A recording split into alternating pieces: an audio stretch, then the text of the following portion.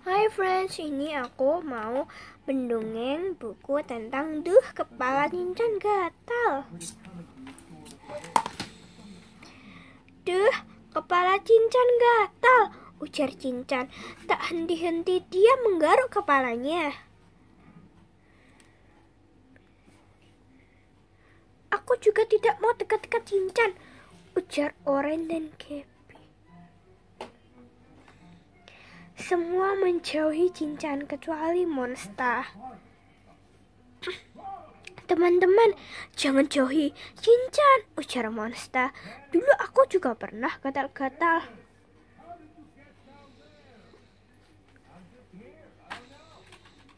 Rasanya menyebalkan, tapi sekarang aku tidak gatal lagi, ujar Monster sambil tersenyum.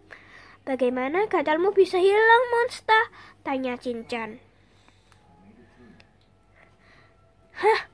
Nah, teman-teman, kira-kira apa yang harus Cincan lakukan supaya kepalanya tidak gatal? Nih, jadi kira-kira apa nih yang harus Cincan lakuin supaya kepalanya nggak gatal lagi?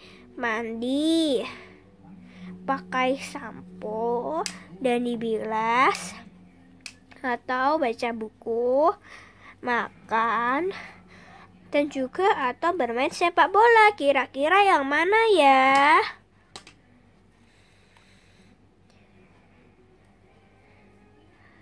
Cincan, siang-siang begini kok mandi?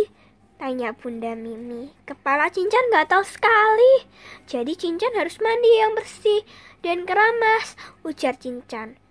Anak hebat, ujar Bunda Mimi. Keesokan harinya, kepala Cincan tidak gatal lagi. Cincan pun bisa bermain kembali bersama teman-temannya. Hore! Terus di sini itu juga ada temukan lima perbedaan nih. Jadi kira-kira yang mana aja ya yang berbeda? Kalian harus temuin lima perbedaan. Jadi kira-kira kalian bisa nggak lakuin aktivitas ini? Nih. Nih. Jadi ini tuh cuma lima, bukan sepuluh atau enam atau 9 atau 100 bukan tapi ini cuman 5 5 perbedaan oke okay? bye bye